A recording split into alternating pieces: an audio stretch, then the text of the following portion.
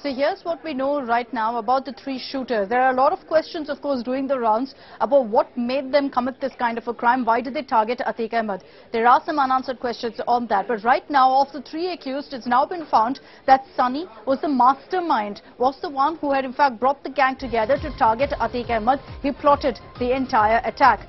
Now, there's also a gangster link emerging. Sunny reportedly has been a part of the dreaded Bhati gang in Uttar Pradesh. So is that the motive? Was he funded? Was he provided the weapons by the Bhati gang? It's still a big question mark right now. But beyond that also, it says, according to the police right now, Sunny and the other accused have said that the only reason they committed this kind of a crime is because they wanted to become famous. They wanted their name to become one of the most dreaded gangsters in Uttar Pradesh. The pistols that they used were Turkish-made pistols, worth each of them worth over 7 lakhs. And there are still questions about how they got it. We don't have answers to that. The cops are still looking into that. Now, what we also heard is that the shooters were inspired by the murder of Sidhu Moosewala, by Lawrence Bishnoi and how the gang functioned in the killing of Moosewala. They tried essentially to kind of replicate that in the killing of Atiq Ahmed. I want to now bring in Simar Chawla. He's joining us live from Prayagraj. Simar, you were there when the recreation was taking place. You were also there when the actual shooting had happened. What really is the point of this kind of a recreation? Many are asking, is the UP police actually focusing uh, on the nitty-gritties right now, hoping to get some leads because they've reached dead ends? As far as the murder itself is concerned, it was caught on camera. So why the need for this recreation? Well, exactly the point, Akshita. You know, uh, a lot of uh, incidents has, has happened uh, like this in the past, and we have seen that this is a protocol in which uh, recreation scene happens. In this very particular case, first important aspect was uh, when the SIT, uh, Judicial SIT came and did their research and went back. After which, you know, the FSL team came and also the police team came for recreating the whole crime scene.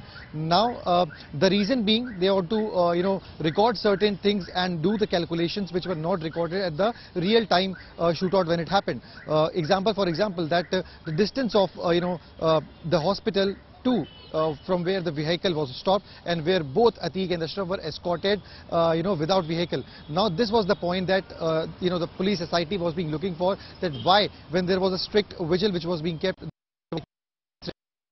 media when in the past media were not allowed to you know talk to Atiq Ahmed they were not even allowed to come close to him. Why did it happen that at that particular night uh, he was paraded for more than 100 meters? He was exposed to such threat. And also you know what happened? Why uh, you know there were some bullets and all you know lying True. down there. Uh, did it happen that uh, yeah all right, Simar, thank you for getting us those updates. As Simar pointed out, there are still a lot of questions, particularly that the UP police need to answer about the circumstances in which Atiq Ahmed and Ashraf was shot down. Thanks, Simar, for getting us those details. Let's run you through right now some of those unanswered questions. Five days on, we don't know any of this. First, how did the three shooters know each other. That's still not established. These three were from different districts altogether, weren't part of a same crime or anything of that sort. So we still don't know how they were connected. Where did the shooters get these high-grade weapons from? Each weapon, as I mentioned earlier, is worth over 7 lakhs. So how did they get their hands on this kind of pistols? Who bought it for them? Who supplied it for them? Is there a gangster link that then comes to the fore? That's still a question that remains unanswered. Did anyone order a hit on Atiq and Ashraf? Cops are probing into this, but so far they haven't been able to receive any leads despite questioning the three shooters. How did the shooters know so well the movement of Atiq as well as Ashraf? We've spoken about this in our earlier broadcast as well, that there was quite a bit of confusion of exactly where Atiq and Ashraf were being taken, and yet these shooters knew that they were being brought to the hospital. What was the motive for the crime? The most basic question that's yet to be answered right now. It's a rival gang involved. One of the accused, Sunny, is linked to the Bhati gang and it's led to questions and speculation on whether this was a hit job on Atiq Ahmed by a rival gang in Uttar Pradesh. Now, these assailants, if you notice in the footage of the attack, which we've all, of course, seen so many times, you can see that they shoot Atiq at point blank range. Now, there are questions about whether these were trained shooters or did they receive some training before this attack on Atiq and Ashraf. We'll continue focusing on the investigation. But in the last 24 hours, there have been quite a few reactions also that have come in on the shooting of Atiq Ahmed. Unfortunately, in the last five days, with his death, a man, a dreaded gangster who has 100, had 100 plus cases against him, is being eulogized, is being venerated. The latest comment that's come in has also in fact hailed Atiq's wife, Shaista Parveen, who remember has been absconding for 50 plus days. The apologist for a gangster who had terrorized UP for four decades continued to line up after his shooting and brazenly now defend and venerate Atik Ahmed. The latest Neta to jump into the defend Atik bandwagon is former SP ally OP Rajbhar, who has, believe it or not, likened Atik's wife Shaista Parveen to a freedom fighter. अगर मुकदमा लिखा गया अपराध आपराधिक मुकदमा तो वो court में जाके हाजिर होकर अपना जमानत करानी चाहिए भागने से क्या आ है डट के मुकाबला करना चाहिए है अंग्रेज़ों के जमाने में जब देश की आज़ादी की लड़ाई में महिलाएँ नहीं मारी गई हैं अमर रहोगे तुम्हें मैं भारत रत्न दिलाऊँगा तुम्हें सम्मान दिलाऊँगा This comment comes a day after a Congress leader demanded a Bharat Ratna for Atik Ahmed and even placed the tricolor on Atik's grave. The Congress immediately cracked the whip and suspended the Neta.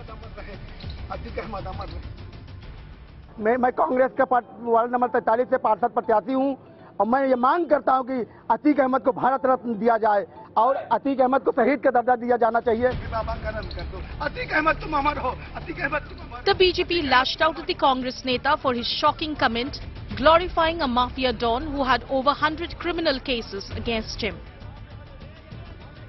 This is yet another evidence that Congress का हाथ is always आतंकी अपराधी माफियाओं के साथ. We have seen how Congress leaders like Punia has said Atiq Ahmed ji, Tejasvi Yadav has given respect to Atiq Ahmed. One of their local leaders wanted Bharat Ratna and Shaheed status for Atiq Ahmed. But these aren't just loose comments made in favor of Atik and his clan. Since Atik's shooting, there have been a series of similar comments, with some top leaders even referring to this gangster as Atik G. Atiq Ahmad जी के अ, बेटे का encounter कल जैसे हुआ घनघोर अपराधी हो हो जो भी हो अ, उनके खिलाफ कार्रवाई हो लेकिन ये अ, जो पूरा घटना चक्र है अ, इस इनकाउंटर का वो संदिग्ध नज़र आता है यूपी में जो हुआ अगर आप देखें तो ये अतीक जी का जनाजा नहीं बल्कि ये जनाजा जो था कानून का जनाजा जो है वो निकला है Even as details continue to tumble out of the reign of terror that Atik Ahmed unleashed for the last four decades, opposition leaders seem to be fighting it out now to glorify this gangster as a Robin Hood. Bureau Report, India Today.